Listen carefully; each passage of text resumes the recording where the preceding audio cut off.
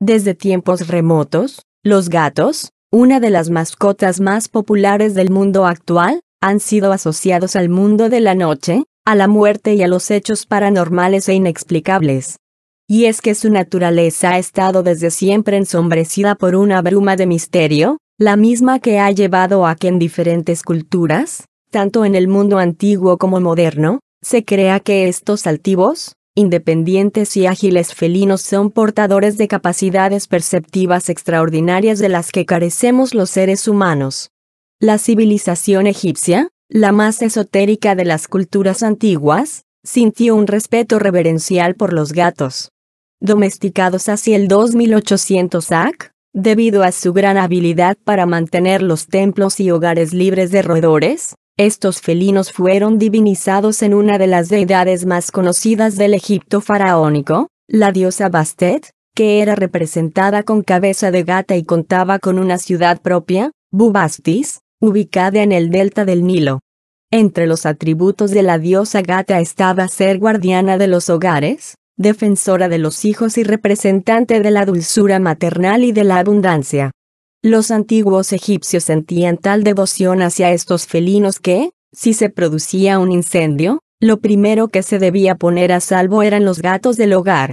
Y cuando moría uno de ellos, la familia le dedicaba un duelo especial, como si de un pariente querido se tratara. El historiador griego Heródoto asegura que los moradores de la familia, principalmente el cabeza de familia, se rapaban las cejas en señal de duelo, antes que el animal fuera momificado y sepultado.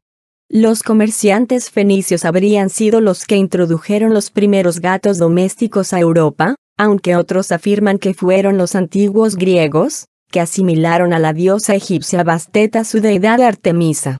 Los celtas, otro pueblo aficionado al mundo oculto, creía que los misteriosos ojos de estos felinos eran la puerta que conducía al mundo de las pequeñas criaturas, principalmente de las hadas, y que la cercanía de los gatos podía ponerlos en contacto con seres del otro mundo. En Japón, los gatos, llegados a las islas hacia el siglo X desde China, vivían en el interior de pagodas y templos, ya que, además de ser considerados animales de buen augurio y portadores de vibraciones positivas, protegían los manuscritos sagrados de la voracidad de los ratones. Se cuenta que Confucio tenía un enorme gato como animal de compañía y en algunos países del Oriente se creía que poner una estatua de porcelana de un gato en las puertas de las casas constituía un símbolo protector. En la India se adoraba a una diosa gata, que se asociaba con la fertilidad, e incluso el profeta Mahoma, en pleno siglo VII, Poseía casi una decena de gatos y solía predicar con Muesa, su gata favorita, entre los brazos. Desagrados a perseguidos fue a mediados del siglo XIII, en plena Edad Media, cuando, de ser considerado un animal sagrado y protector, este astuto e independiente animal pasó a ser visto como una criatura diabólica. En cualquier acto que se considerara maléfico y demoníaco la iglesia detectaba la presencia del gato y en algunos países eslavos y balcánicos se asociaba a los gatos con los no muertos, los temibles vampiros. Así, comenzó una verdadera masacre que estuvo a punto de provocar su extinción.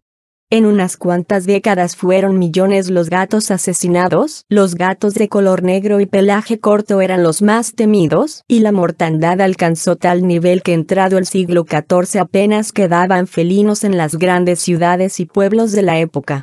Esta situación, creada por la proverbial y endémica estupidez del ser humano, provocó indirectamente la peor pandemia de toda la Edad Media, la temida peste negra. En 1348, supuestamente en la India, aparecieron los primeros brotes de la enfermedad, pasando después a Crimea y, desde allí, a bordo de numerosas naves genovesas cargadas de ratas, se extendieron primero a Italia y, más tarde, a gran parte de Europa. El exterminio de los gatos europeos, depredadores por excelencia de los roedores, pero considerados como supuestos colaboradores del demonio y de las brujas, provocó que las ratas pasearan a sus anchas por pueblos y ciudades, contagiando a todos sus habitantes. La cifra aproximada de muertos ocasionada por la peste negra, que se extendió entre 1348 y 1375, fue de 25 millones de personas. A mediados del siglo XVII el gato recuperó progresivamente su lugar de privilegio en nuestra sociedad, ya fuera como cazador de ratas o animal de compañía. El rey francés Luis XIII, llamado el justo y gran amante de los animales, prohibió y castigó la matanza masiva de gatos, iniciativa que se extendió a otros países europeos. Durante esta misma época se comenzó a creer que enterrar el cadáver de un felino durante la edificación de los edificios podía servir para combatir los espíritus malignos y la mala suerte. En el subsuelo de históricos edificios de Europa, como la Torre de Londres, por ejemplo, se han encontrado numerosos restos de estos animales.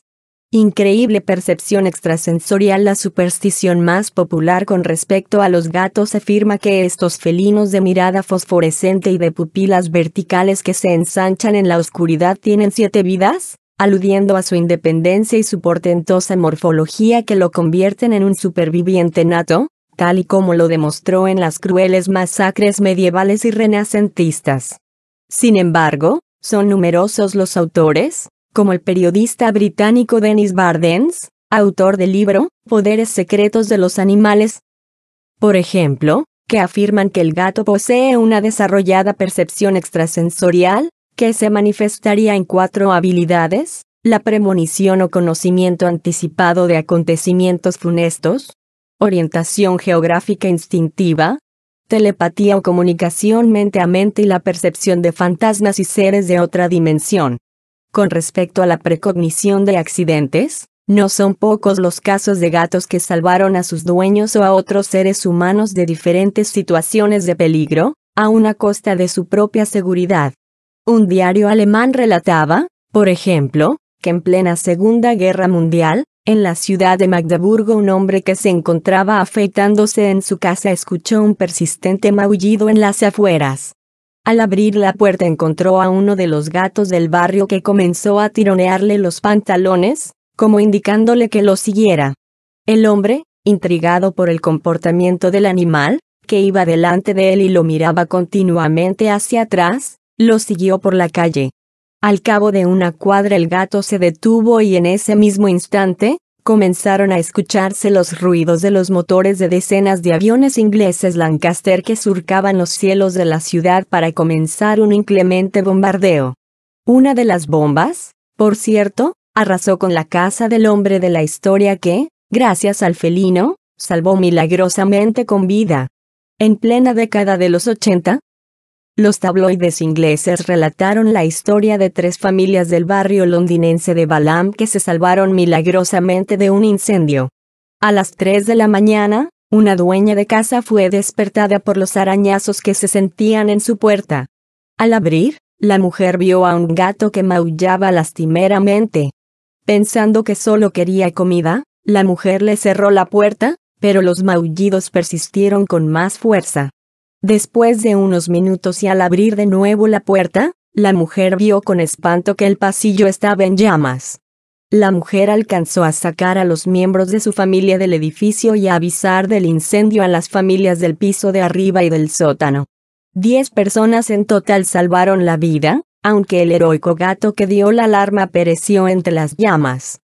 En la localidad norteamericana de Rhode Island, en tanto, fue célebre el caso del gato Oscar, un felino que vivía en un centro de reposo para ancianos. Los empleados del lugar aseguraban que el menino podía predecir cuando a un residente le llegaba la hora de abandonar este mundo. Nadie moría en el centro sin que Oscar lo visitara y se quedara con él un rato. En total predijo la muerte de más de 25 residentes. Relataron. Con respecto a las otras cualidades paranormales atribuidas a los gatos, se cree que los gatos son capaces de desarrollar un fuerte lazo mental con sus propietarios y pueden anticipar cuando sus amos están a punto de llegar a la vivienda y predecir sucesos funestos que puedan afectarlos. Los gatos también muchas veces se comportan de forma aparentemente extraña o se quedan mirando fijamente la nada, totalmente concentrados, aunque esto se debería a su capacidad de ver seres y objetos de otras dimensiones, que no serían perceptibles para la mayoría de personas. Por ello, algunos mediums los consideran en extremo útiles para percibir entes y espíritus y ser una especie de nexos entre el mundo de los vivos y el de los muertos, sin mencionar que también tienen un talento natural para captar diferencias en los campos magnéticos y detectar alteraciones eléctricas. Se dice también que los gatos son capaces de reciclar energías negativas en los hogares. A ello se debería que acostumbran sentarse y descansar en determinados lugares de la casa, donde captan estas impregnaciones negativas, transformándolas y eliminándolas finalmente de las casas. Algunos autores postulan que nuestros problemas y estrés diarios son absorbidos por el gato, por ello, cuando el lugar está muy cargado de energía negativa, no es raro que el gato se enferme. Estos mismos autores aconsejan también estar muy atento a la forma como los gatos reaccionan a las visitas en las casas, ya que muchas veces ellos están intentando proteger a sus dueños de un campo energético negativo o pesado. Las creencias sobre las propiedades de los gatos cambian en cada país. Pese a su relación directa con la brujería, en el Reino Unido los gatos negros son considerados desde hace siglos portadores de buena suerte, todo lo contrario de lo que sucede en España, Italia, Portugal, sur de Estados Unidos y algunos países iberoamericanos. En el mundo rural se cree que si un gato nos precede en el paso es augurio de buena suerte, pero si se nos cruza por delante simboliza lo contrario, si se cruza de derecha a izquierda, es mucho peor que si lo hace de izquierda a derecha. Y en los países sajones y los germánicos se cree que si el gato es de color negro, pero tiene alguna mancha blanca sobre su pelaje, es portador de buena suerte y se convierte en amuleto protector.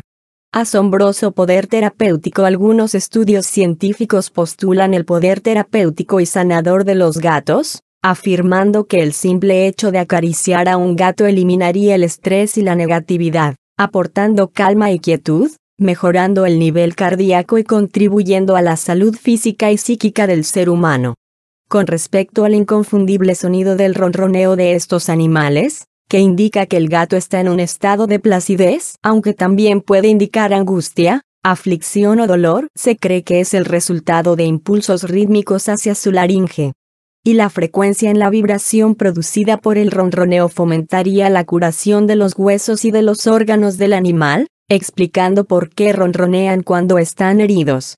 Lo increíble de todo esto es que muchos sostienen que los gatos son capaces de traspasar esta asombrosa capacidad curativa a los seres humanos que tienen cerca, por ejemplo, cuando ronronean en el regazo de sus dueños. Elizabeth von Mugenthaler, especialista en bioacústica, por ejemplo, asegura que hay un viejo adagio entre los veterinarios que afirman que si pones a un gato ronroneando en una pieza llena de huesos rotos, los huesos se curan. He escuchado relatos de personas que, supuestamente gracias a sus gatos ronroneando cerca de ellos, curaron lesiones de sus huesos, tendones y ligamentos.